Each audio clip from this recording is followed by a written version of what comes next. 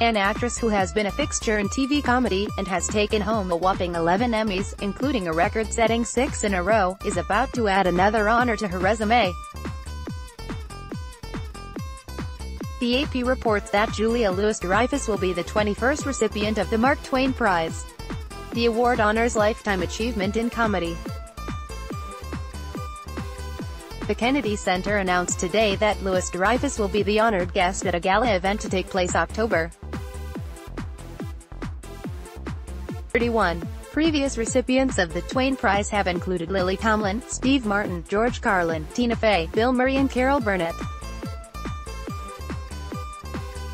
The AP notes that Bill Cosby received the award in 2009, but it was rescinded earlier this year.